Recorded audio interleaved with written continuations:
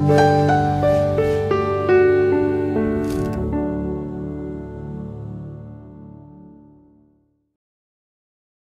من با نداشتن رویا سرکش شدن. وقتی که ما هیچ امیدی نداریم و دید و رویایی نداریم اون وقتی که واقعا زندگی بی‌معنی میشه. فکر کنید شما برای زندگیتون هیچ نقشه نداشته باشین. همینطوری زندگی می‌کنین که می‌کنیم من فکر نمی کنم اصلا بشه به این زندگی معنی داد یا در کنار یه نفر که در این وضعیت زندگی می‌کنه بشه حتی زندگی کرد. اکثر افرادی که دست به خودکشی می‌زنن یا ناامید هستن یا دپرس میشن به خاطر اینکه دید و رویایی ندارن به خاطر اینکه امیدی ندارن تا اون دید و رویا رو به دست بیارن.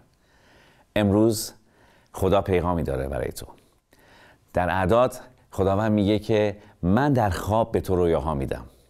در زمین رو بدونید که رویا و دید و رویا و پیغام فقط برای انبیا نیست برای هر فرزند خداست. اگر شما به عیسی مسیح ایمان دارید و خداوند شما رو خریده شما وارث هستید و برای همین شما رو خدا دید و رویا میده نقشه های عالی میده و میگه با اون نقشه ها زندگی کن.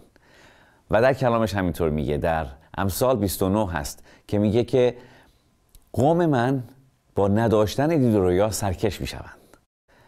پس برای اینکه این سرکشی رو از بین ببریم و اینکه این ور اونور نزنیم هدف بذاریم برای زندگیمون. هدفی که خدا ما رو در اون ساپورت می‌کنه و برکت میده.